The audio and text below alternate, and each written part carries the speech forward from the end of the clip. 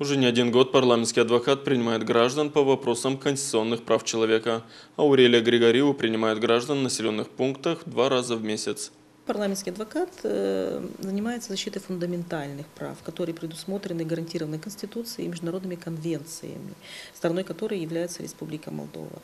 Вот, э, допустим, э, предыдущий петиционар, значит, я усмотрела в том, что вот его, в его сумбурном объяснении, я усмотрела, что в отношении него допущено нарушение права на передвижение. Это фундаментальное право, оно закреплено Конвенцией Европейской.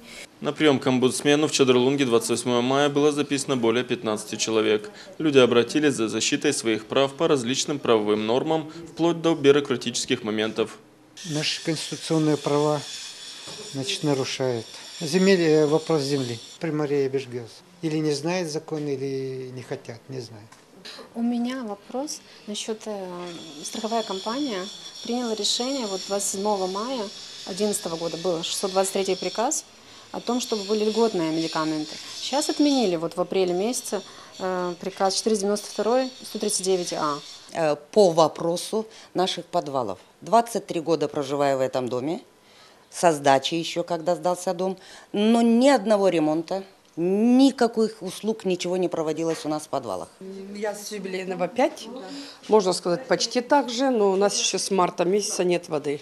Тоже труба сгнила в кухне. Правда, ванна есть, а в кухне нету. И нету никого.